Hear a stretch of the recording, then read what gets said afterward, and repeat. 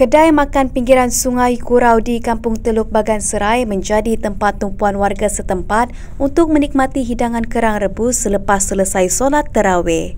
Uniknya tradisi hidangan ini hanya akan muncul dalam tempoh sebulan sepanjang Ramadan dan kebanyakan peniaga kedai makan akan bersaing secara positif di antara satu sama yang lain dengan cara menyediakan menu masing-masing termasuk menghiaskan premis sebagai satu daya tarikan untuk para pelanggan hadir ke kedai mereka. Peniaga Jamal Ramli 56 tahun berkata sudah menjadi kebiasaan tradisi masyarakat di sebelah Perak Utara pada setiap kali tiba bulan Ramadan, hidangan kerang rebus akan menjadi pilihan ramai khususnya di daerah Kerian.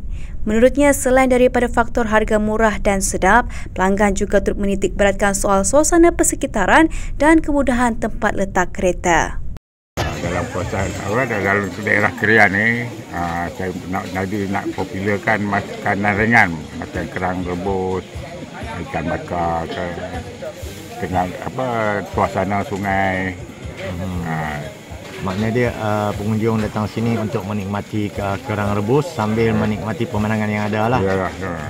Okay, bang. Uh, so setakat uh, sepanjang bulan puasa ni uh, sambutan daripada pengunjung macam mana? Menggalakkan atau macam mana? InsyaAllah uh, nampak nampak ada menggalakkan lah. Uh, dari selepas terawih dah orang dah ramai datang kan.